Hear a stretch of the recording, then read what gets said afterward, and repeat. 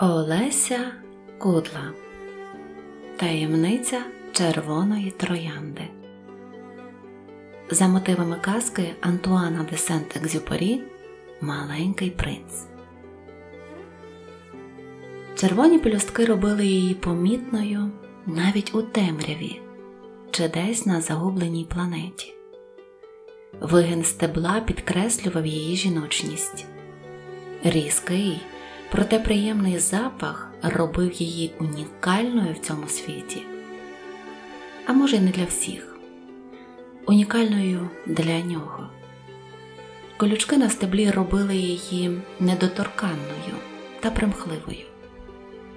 Та ніхто не знає, що за тими колючками криється ніжна, крихка душа.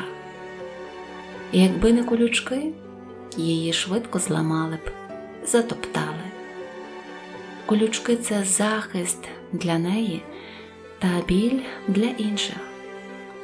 Цей біль я відчула раптово, коли подружка подарувала мені її на мій день народження.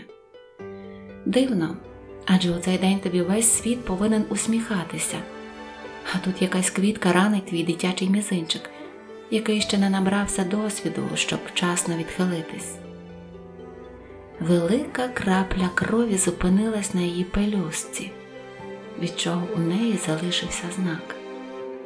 Очевидно, коли раниш когось, то і на тобі залишається знак тієї рани. Що я тобі зробила? подумала я і поставила у вазу біля вікна свою нову жительку. Наступного дня я помітила, що моя троянда повернулася до вікна. Вона тягнулась так, ніби когось шукала, когось, хто знаходиться вище другого поверху, та й, мабуть, вище дерева, яке вже має чимало років та чи багато кроків у висоту. Ранка на мізинці все ще давала про себе знати, але вона була настільки прекрасно загадковою, що я могла годинами сидіти і пробувати розгадати її загадку. Як можна бути настільки прекрасною і настільки злою? часто запитувала її. Проте вона мовчала.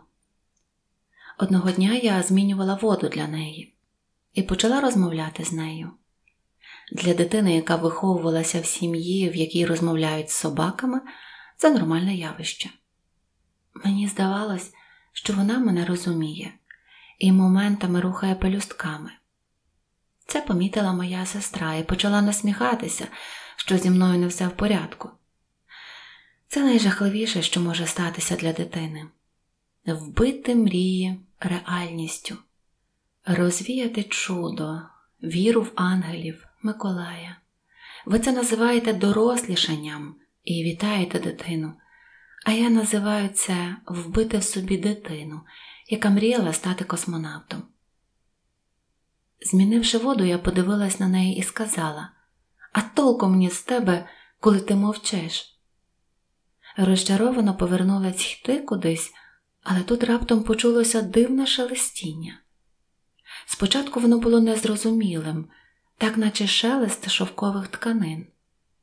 Я повернула голову до моєї гості, яка стояла на підвіконні, і побачила, як її полюстки злегка ворушаться. Я не могла зрозуміти її, так як голос дорослої сестри лунав у моїй голові, і я не могла виключити його, він наче запрограмував мене на цілих десять років наперед. Але, подивившись на квітку, вдивляючись детально, я почула знайому фразу слова тільки заважають зрозуміти один одного. Доволі знайома фраза, але згадати було важко. Ти б мені пробачила, якби я почала вибачатись за твій місинець, шукати собі виправдань, що хтось мене не так передав тобі, чи втомлена була і не побачила твого пальчика. Хм, Мабуть, я б ще більше розізлилася. Іноді слова бувають зайвими і неправильно зрозумілими. Для того і придумали тишу, щоб в ній народжувалась істина. А чому ти вколола мене? Чому не заховаєш свої колючки? Думаєш, якщо їх заховати, то вони перестануть робити боляче? Ну так тоді в тебе буде гладеньке стебло, і ти не зможеш колоти. У людей є гладенька, м'яка шкіра, проте вони не перестають колоти. У людей теж є колючки? Так, у кожному з нас вони заховані десь всередині, інколи вони колють інших людей, інколи проростають всередині, колючи людину зсередини і роблячи її боляче. Неважливо, чи зовні, чи всередині є колючки.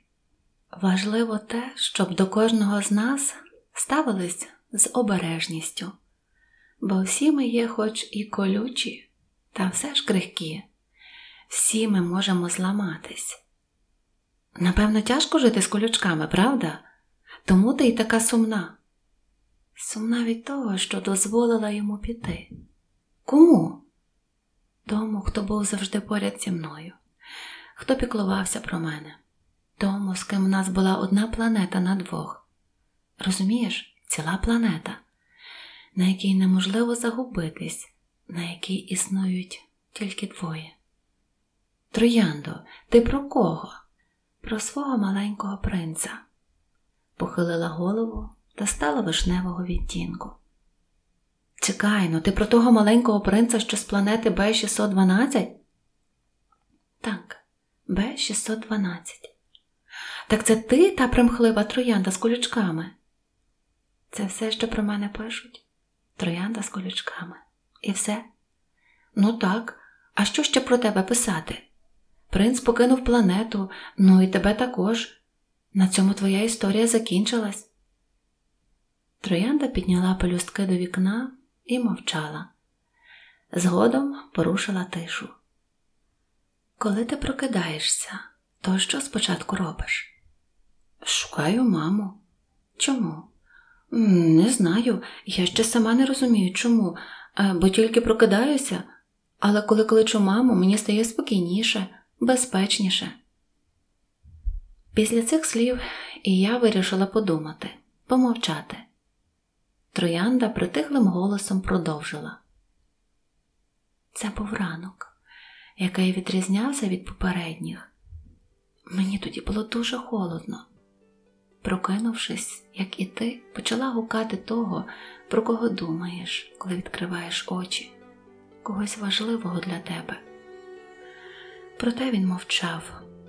Він мовчав, бо його не було вже на цій планеті. Його не було, але все нагадувало про нього: сліди на землі, лопатка, якою він доглядав землю. І я, та, яка відчувала себе частиною його, проте не змогла йому дати зрозуміти про це. Тяжко бути красивою, тендітною, співчутливою та по-особливому слабкою. Створивши мене, мій творець зрозумів, що цьому витвору буде тяжко, і для цього придумав колючки, які моментами не дозволили простоптати мене. Але щоб вони не ранили людей, він додав мені багато доброти, таким чином заплутавши всіх. Ніхто ж не подумає, що у красивої колючої троянди є надмірна доброта, яку можна використати. Та й без колючок не було б загадки. Без загадки людям стає нудно. Моєму принцу теж набридла одноманітність, тому він зник. Людям властиво зникати. Вони не обирають, чи чекати захід, чи схід сонця. Вони йдуть, не подумавши про тих, хто прокинеться зранку і шукатиме їх, так як шукала я свого принца, свою загублену людину. Пробувши день у холоді, спричиненому не вітрами і не мінусовою температурою, я потрохи втрачала сили. Мої полістки ставали важкими, і я раптом побачила силует людини. Але це був не він. Це був подорожній в сірому костюмі. На голові в нього було щось скляне, а в руках не пам'ятаю, що далі сталося зі мною. Відкрила очі від того, що почула різні голоси. Це були сотні троянд. Я не одна єдина, таких, як я, безліч. проте їхній колір пелюсток відрізнявся від моїх. Ці троянди змінювали колір та форми пелюсток. Їм здавалося, що це зробить їх неповторними, найкрасивішими. Навіщо ви це робите з собою? Вам не подобається ваш колір? жахнувшись, запитала я. Це сподобається нашим принцям, ну таким чином ми вирізняємося серед інших квітів. Мій принц ніколи не дозволив би мені поміняти форму чи колір пелюсток. Він сприймав мене справжньою, навіть з тою пелюсткою, що є темнішою, вона відрізняється від усіх. Будьте справжніми, цим і відрізнятиметесь від інших. Ваша краса є справжньою, а ви робите її штучною. Якщо надто часто перебувати у штучному тілі, то і середина заразиться нею. Кажеш, твій принц не дозволив би поміняти форму, а як же тоді він допустив те, що ти опинилася тут без коріння? І тут троянда, жахнувшись, глянула вниз і побачила, що справді її коріння обрізали. По її пелюстках покотилася сльоза. Це, напевно, була перша її сльоза, яка була настільки чистою, що всі квіти затихли, спостерігаючи за чимось природнім у цьому світі краси. Хоча моє коріння залишилось на маленькій планеті, про яку мало хто знає тут, але я не забуду його. Куди б мене не занесло, я пам'ятаю той шматочок землі, де мені було добре. Чуєте всі? Я зараз тут з вами, та моє коріння залишилось на планеті Б612. Це моя планета, і вона зі мною в серці. Та що ти хвилюєшся? Ти потрапила на планету, де можливі чудеса. Ми тобі зараз знайдемо нове коріння. Звісно, буде трохи боляче, але нове приживеться до тебе, і ти житимеш, заспокоїли троянди. Ні, без коріння я помру. Навіть якщо мені прищеплять нове, я втрачу себе, спогади про свою планету, про свої вподобання, про свого принца. А вони цього не заслуговують. Треба бути вдячним своєму корінню та планеті, навіть тоді, коли на ній посуха чи зливе, тоді, коли в неї вдаряється інший астероїд, який вдвічі більший за неї. Треба вірити у свою планету і триматися за неї так, як тримається воно, глибоко та міцно. І тоді не будуть страшні жодні астероїди чи інопланетяни, які можуть заселити мою планету. Інші ж троянди не звернули на це уваги, хоча більшість з них були з прищепленим корінням, але їхня краса та слава їхнього принца була важливіша для них. Ви сказали, що на цій планеті можливі чудеса? з надією жила я. Ну так, тут можливо все. А ви зможете знайти мого маленького принца? Ти потрапила на правильну планету. Тут є їх багато. Але тут потрібно навпаки, щоб він тебе знайшов. А для цього нам потрібно сфотографувати тебе. Навіщо? Ну, щоб принц поглянув на тебе, щоб помітив тебе, а ти вже вирішиш, чи твій це принц, чи зовсім і не принц. А хіба щоб впізнати свою троянду, не потрібно відчути запах? Знайомий запах, який в нього викликає відчуття чогось рідного, свого. Ти все ускладнюєш. Щоб мати свій запах, по якому тебе впізнає принц, треба бути справжньою, бо штучні квіти не можуть мати власних запахів. А як же турбота? Він повинен турбуватися і придивлятися до своєї троянди. Ну, це ж багато часу піде, ти дуже вибаглива троянда, ти будеш непотрібною йому, адже у нашому квітковому світі безліч таких, як ти, і на них не потрібно багато часу. Ваша планета дуже дивна, розсердилася я і почала стежити за всім, що відбувається навколо. Це ти дивна, ти відрізняєшся від усіх нас. З тобою щось не так. Ти захворіла. Я не маю часу, щоб спілкуватися з тобою. Час. Я задумалась і подивилась навколо себе. Раптом помітила, що всі навколо кудись біжать заклопотані. Там, на висоті, все набагато простіше, все йде повільніше, за планом. Сонце знає, коли вставати, а коли відпочивати. Все в гармонії. Тут же, навпаки, швидкість та шум, що моментами троянда забувала про свою мету, що вона шукає. Весь цей шум заглушував її саму, не давав власному голосу озвучувати речення в голові. І тут раптом хтось зупинився переді мною. Потягнулася рука. Проте, побачивши колючки, обгорнула її папером. Я почувалася слабкою, адже без коріння ось ось гасну. Розплющивши очі, я побачила, що папір з мене знято, і хтось тримає мене.